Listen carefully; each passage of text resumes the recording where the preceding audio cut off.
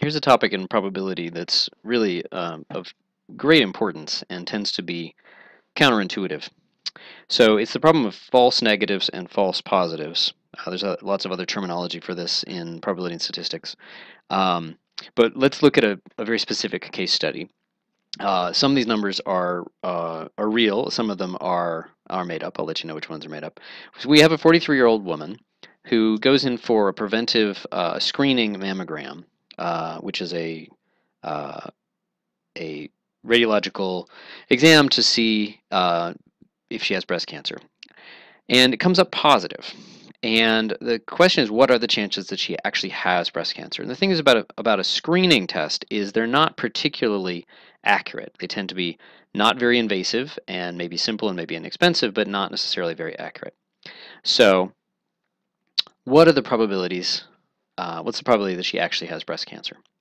So let's say the test has a false positive rate of 10%. So what that means that is that among the people who do not have breast cancer, 10% of those will actually get a positive result. And that's a bit on the high side, but for a screening test, that's not unreasonable. Although I did make this uh, number up to be to make it simple. It also has a false negative rate of 25%, let's say. So that means that among the people who do have breast cancer, it's going to miss it 25% of the time. Again, higher than you'd ideally like, but it's supposed to be a cheap and quick screening. So what is the probability that she has breast cancer? Is it 90%? That's just 1 minus the false positive rate. Or is it somehow combining these two numbers? It maybe it's 90% times 75%, 67.5%. How do you combine these two numbers to get the probability that she has breast cancer? So think about that. You might want to pause the video for a minute and think about what's your estimate of the probability that she has breast cancer. Unfortunately, you, that was really a trick question. Um, you cannot answer that question. We are lacking an absolutely crucial piece of information, which is the background incidence of breast cancer. How many people actually have breast cancer? And this, I actually, this is actually reasonably accurate for a woman in her 40s. It's 1.4 percent. Okay, so how does that affect the final answer? Now we've got these three numbers. We've got the false positive rate, the false negative rate, we've got the background incidence. How does that affect the final answer? she's looking at this positive result, what should be her estimate of the probability that she actually has breast cancer and has to do more invasive procedures, very worrisome situation. What's the, the actual probability? So again, I would ask you, invite you to make a guess, just a rough guess. What do you think the probability is? Is it is it still something like uh, if you would guess like 90% or 60% or something like that, or what is your guess for that? I would really invite you to pause for a second. So Here's one way to think about this, which is with trees. Uh, we're basically being given this tree worth of information. And let's go through this. There's the possibility that she either has cancer or she doesn't have cancer. And then there's the, what she gets on the test. So these are all the possibilities based on whether somebody has cancer or not, and whether they get a positive or negative test, uh, negative result on the screening test. So the background incidence is the two branches coming out of the root of the tree. That of all the population, so the root is everybody, all of the women who could, um, in this big population, say women in their 40s, and only 0.014, 1.4% of those people have cancer. The probability that somebody picked totally at random that doesn't have cancer is 0.986. Now, the false positive and false negative rates really important that those are conditional probabilities. Given that someone has cancer, there's a 25% chance that they'll actually get a negative result. That was the false negative rate. Therefore, there's a 75% chance that they'll get a positive result. These, remember, always add to 1, just like these, these add to 1. These also add to 1. They are the false positive rate, 10%, or an 0.1 chance that someone with no cancer will get a positive uh, screening test, and 0.9 that someone with no cancer will get a negative screening test. The key to this problem, one of the keys to this problem, is that this is not the tree we really care about.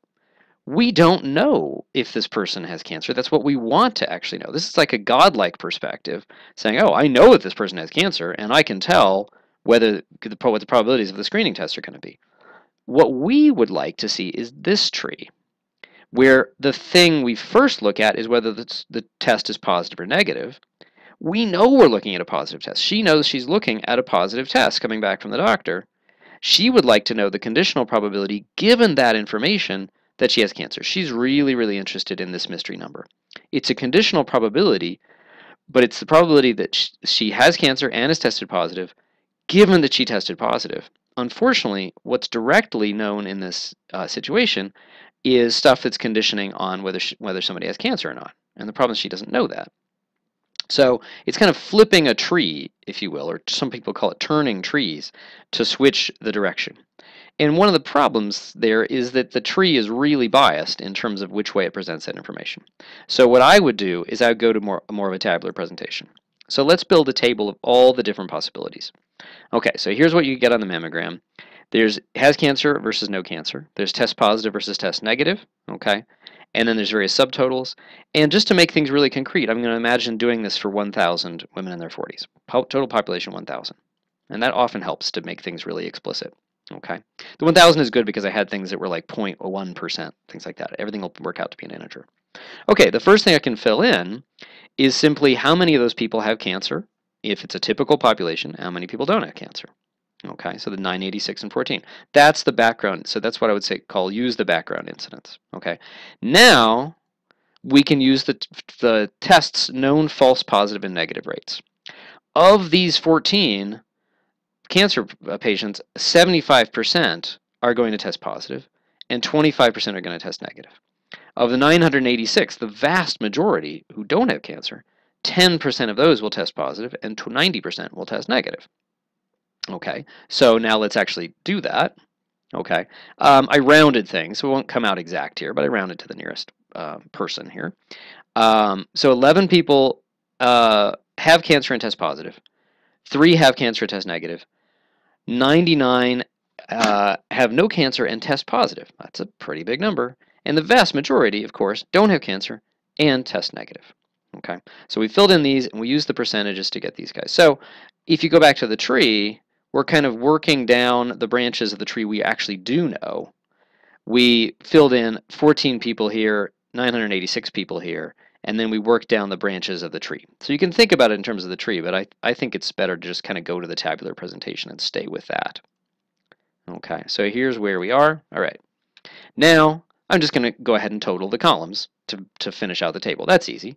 Just add up. Okay, how many people totally, totally would test positive out of this population? How many people would test negative? That isn't information we were directly given. We really had to do this multiple step procedure to figure out these subtotals. Okay, but that those are very interesting numbers. Okay, because what we really care about are the column percentages. We care about conditioning on say the test the positive testers. We we know we're in this column. She knows that she got a positive test and she's interested in which of these two boxes she's in. Okay. Well, if you know you're a positive tester, let me go back. 11 out of 110, there's only 10% of those positive testers who actually have cancer. The positive testers are dominated by people who are false positives. This is the false positive box. People have no cancer but tested positive. It's because there's so many people who have who don't have cancer, even a relatively small false positive rate is going to swamp things. So in fact, the pot the the conditional probability that she has cancer given a positive test is this box over this box and the percentage is actually just 10%. Okay. Um, and you can figure out all the other conditional probabilities we'd like to know as well. What's the probability if she had tested negative that she has cancer? That that fa that false negative rate was 25%. It was disturbingly high. But in fact, the probability that you have cancer given a negative test is still very very small. It's 0.3%. Um, and so there's there's uh, these numbers tend to be very different from what people usually expect. This 10% is quite a bit smaller than the 90% or 67% or some number like that that people would often guess. Okay. Uh, one a pictorial version of that is, that's really helpful. This is from a book by um, Nate Silver. That if you picture all these thousand people and then you just kind of randomly put down, um, I'm going to put down women with breast cancer. So that's where the pluses the pluses are the people who actually have cancer. There's not very many pluses. And then the people who, with breast cancer, who are positive, that's that 11 out of 14. That's the pluses in the shaded box. Okay. And then the negative, among breast cancer with negative, you have the uh, unshaded but with a plus. plus, and there's very few of those guys. What do you have a lot of? You have a lot of shaded boxes without a plus in them.